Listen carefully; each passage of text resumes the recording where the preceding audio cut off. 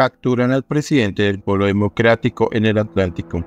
Andrés Antonio Robles Borges es investigado por presunta participación en un caso de extorsión. Las autoridades arrestaron en Barranquilla el viernes pasado a Andrés Antonio Robles Borges, presidente del Polo Democrático Alternativo en el Atlántico.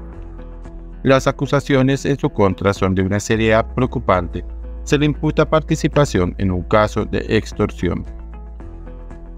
Según los informes preliminares, Robles Borges fue detenido mientras presuntamente recibía una suma de 20 millones de pesos de un comerciante local. Al parecer, este empresario estaba siendo presionado por Robles, quien habría utilizado su influencia y posición para coaccionarlo. Todo esto en el contexto de un supuesto proceso en su contra en la fiscalía. La operación de arresto fue llevada a cabo por las autoridades y un juez con función de control de garantías de Barranquilla ratificó la legalidad de la detención al día siguiente. Según la versión proporcionada por la persona afectada, Robles Borges se comunicó con él a través de la aplicación de mensajería WhatsApp, notificándole sobre un presunto problema con la Fiscalía General de la Nación. El 5 de marzo se llevó a cabo una reunión en la que presuntamente Robles Borges, junto con un investigador de la Fiscalía, exigieron al comerciante el pago de una suma millonaria en billetes de 100 mil y 50 mil, a cambio de cancelar una investigación penal en su contra, según informaron los medios de comunicación locales. El viernes, cerca del edificio Mansur, sede central de la Fiscalía en Barranquilla, se acordó la entrega del dinero, fue en ese momento cuando las autoridades intervinieron y capturaron en flagancia a Robles Borges mientras recibía el pago de la supuesta extorsión.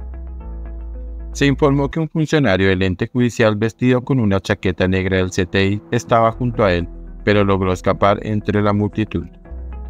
Durante la audiencia virtual, la Fiscalía presentó pruebas contundentes que sugieren la implicación del presidente del Polo Democrático Alternativo en este turbio asunto. Según los documentos presentados, Robles Borges y otro individuo que afirmaba ser funcionario de la fiscalía estaban extorsionando al comerciante, propietario de varias droguerías, exigiéndole un pago importante para evitar problemas legales. La defensa de Robles Borges expresó que su cliente simplemente estaba actuando como intermediario entre el comerciante y el supuesto funcionario de la fiscalía, con el objetivo de resolver una supuesta deuda pendiente. Sin embargo, el testimonio del comerciante ante las autoridades pintó un cuadro completamente diferente. Hasta el momento el silencio reina en el seno del partido político y entre sus líderes en el Atlántico en relación con el tema en cuestión. Ante la gravedad de las acusaciones y la detención del presidente del Polo Democrático Alternativo en la región, la ausencia de declaraciones públicas ha generado interrogantes y expectativas entre la ciudadanía.